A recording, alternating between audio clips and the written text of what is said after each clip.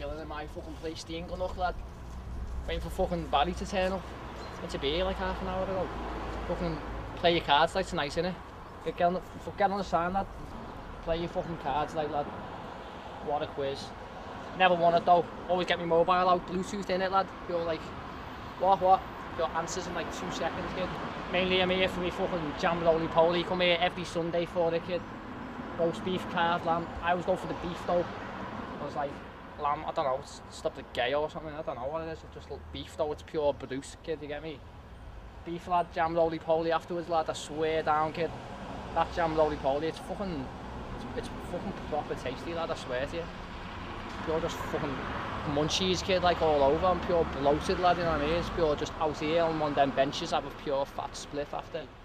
Been coming here for fucking time though lad, fucking good like since I was about maybe eight or something, pure, before that though, back in the day, we'd be mad and that, like, Ma used to bring us here, like, and just fucking leave us on them benches there, fucking picnic, it was like pure ghetto picnic, lad, you get me?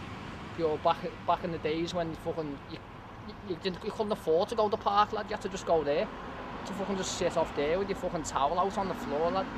As I keep saying though, lad, that this is how we do it in the LIV, kid, you know, you know what I'm saying, lad?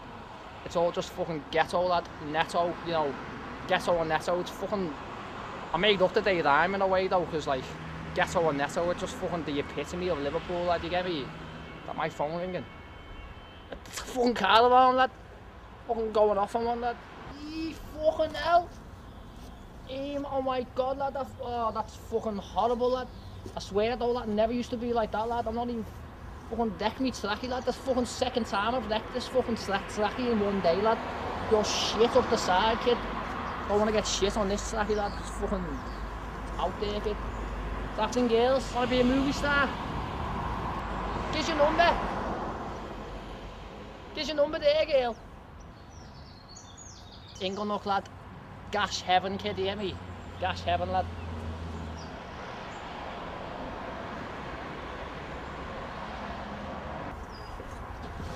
Paris. Yeah. Is it John, John, John, John, John, John, John, John, Pardon? Premier Jam Lolly Polly. It says there. I mean, on one of them signs there.